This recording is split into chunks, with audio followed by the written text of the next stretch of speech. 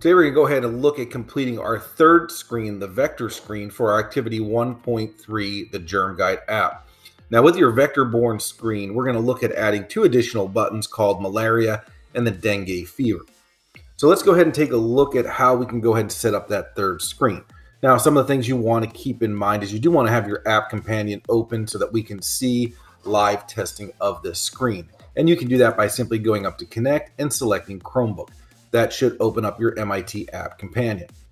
Now, another thing to keep in mind is that we do want our screens to look identical. So if we go and take a look at our crowding screen, what we should know on our app companion is that it's going to match up with all the additional screens. So again, if we go to the water screen, we want to make sure that everything looks similar to one screen to another. So with our next screen, we're going to go over to that vector screen. And before we go and create our first label, one of the things we want to do is check that vector screen component. And we're going to change that background color over to black. And then we're also going to go ahead down here at the bottom and uncheck so that the title is no longer visible. The next thing we want to do is modify that back button so that it matches the crowding and the water screen. So in order to do that, we're just going to simply stay on that vector screen. We can click on that back button. And some of the properties that we've changed is we've made that bolded. We went ahead and changed the font face to mono. We went down and changed our shape over to rectangular. And again, we went ahead and changed our color to cyan. So you want those screens to kind of match up so that they have a similar look.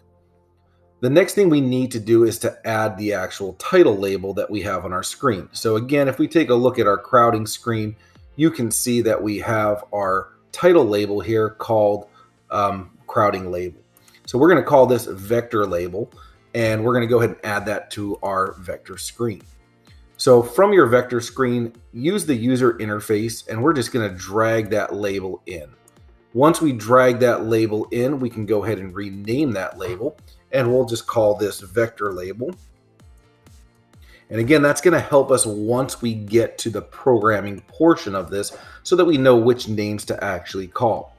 Now with your vector label, we do need to change some of these properties. We are going to make that font bolded. We are going to go ahead and change the font size over to a 30 font. Change the typeface over to mono. And then we're going to change the width of this to fill parent, which is going to be the entire width of the screen. Now we do have our text for label and we can't see anything right now and that's because the text color is set to default. So let's change that default over to white. Now that we have that, we can see our text and in that text, what we're gonna wanna type in there is vector-borne diseases. Now, once you have that vector-borne diseases in there, take a look at your app companion and make sure everything is looking the way you want it to. One of the things I want to do is probably change that text alignment over to be more centered on that screen. Now, once we have our label done, the next step is to go ahead and set up our buttons. So buttons should basically be brought into the screen, but we do need to create some arrangements here that are going to allow us to center that. So in our crowding screen, we can take a look at what we've added to our next part of our app. And here you can see we did create a horizontal arrangement and that horizontal arrangement is going to be used as basically a spacer between the label and the buttons. So we can bring in a horizontal arrangement, and the only thing we really need to do with this is make sure that our width is set to 5%. So back on that vector screen, we're just going to go under the Layout tab, grab a horizontal arrangement, make sure it's dropped down below the actual vector label, and change that height over to 5%. Once we go ahead and do that, we're ready to go ahead and add those buttons. Now you will notice that that arrangement is kind of covering up that diseases. That's all right. It's not going to affect anything on the actual app. It's just going to space it out down below that label. So back over to that crowding screen, let's go and take a look at this vertical arrangement that we've added. With that vertical arrangement, we made sure that everything was aligned to the center. We left the background color set as default, but the height was fill parent and the width is fill parent. So that's important to notice with this. So back on that vector screen, we're to stick in that layout drawer. We'll grab the vertical arrangement and bring it in. Let's go ahead and make sure that we center everything. And then from there, we'll change the height to a fill parent as well as the width. Once we have that arrangement set up, we're ready to go ahead and bring in our two buttons. So I'm going to go up to that user interface. I'm going to find that button and bring it in. I can grab another one and bring it in down below it. And now we have button one and button two. So for our buttons, what we have to remember is let's go ahead and rename them before we change any of the properties. So the first one's going to be called the malaria button. And the second one we're going to go ahead and call the dengue fever button. Now, once you've gone ahead and renamed those and you selected OK, we're going to go ahead and move on to some of the properties. So in order to take a look at what those properties are, we're going to go back to our water screen because we do have one more horizontal arrangement to add in here. And again, that's going to be a nice little spacer for us as well. We're just going to go ahead and make that a height of 5%. That'll space out those buttons for us a little bit. So again, under layout, let's go back to horizontal arrangement. Make sure it's between the two buttons and then just go ahead and change that height over to 5%. Once we have that done, we're ready to move on and modify each of those buttons. Now we do know a couple of the properties that we can go ahead and change just by simply clicking on them. We know that we're going to add an image to this. So if you want, you can go ahead and add that button image PNG file to both text for button one and the text for button two. That's going to give you a little bit of a spacing uh, where we can see what this is actually going to look like. Now that we have those buttons changed, let's go and look at some of those other properties that we need to change. So going ahead and I'm going to click on the color button for this one. You can see that we've made our font bold.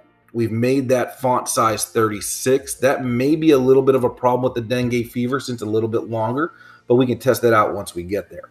So bolded 36, we changed the font typeface. The height for our button was set to 90 pixels.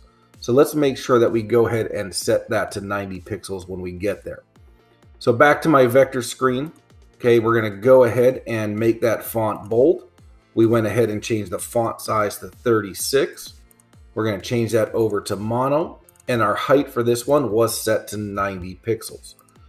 Once we have that 90 pixels, we're going to go ahead down. Let's go ahead and change that text for button one and just type in the word malaria. Now that we have that malaria set up, and we click off of that, we should see that we now have our malaria button ready to go. Text for button two, repeat the same process. Font bolded, font size is going to be set to 36. Once we do that, we can change the typeface to mono. The height is going to be set to 90 pixels. And then from there, we're going to go ahead and change that text for button two to dengue fever. Once we're done with that, we can click off of it and you can see that the dengue fever fits nicely on that button. So I think we're pretty much good to go. So before we move on to the programming portion of this, going back to our water screen, what we have to keep in mind is that we have two non-visible components that are going to be brought in, and those are those players. And with those players, we're going to need to go ahead and make sure we add a source to them. So when you're on your vector screen, we're going to need to go under our media drawer we're going to bring in a player and we'll bring in a second one. And you're going to notice it comes in as player one and player two. And we're going to repeat that same process. We're just going to go ahead and rename that. And let's call that the malaria player. And then we can go ahead and do the same thing for player two and rename that. And we'll call that dengue fever and add that player after it. This way we know exactly what it is. Now that we have that, don't forget we need to set the source. So for my dengue fever, we're going to change that source over to that dengue fever MP3. Same thing with the malaria player. Change your source, find the malaria MP3, go ahead and click on it and select OK. Now that we have them all working, we can go over to our block view. And in our last screen, we went ahead and learned a little bit about how to use the backpack. So we should still have those components in the backpack. And what we're going to do is go ahead and bring that cholera button out. Now, just because we're on the vector-borne screen, you're to notice we're to get these X's because we don't have a cholera button set up for this screen. But we're still to use the syntax here to help us get this to play. So what we're to do is just change that cholera button over to malaria. and then we'll change the call cholera player over to the malaria player. Once we have that done, we can just go ahead and right click and duplicate that malaria button. And what we're going to go ahead and do is change malaria over to dengue fever and the call malaria player to dengue fever as well. Now you'll want to make sure you go ahead and test your buttons on your app. Make sure that everything is playing correctly. We'll give this a nice little test.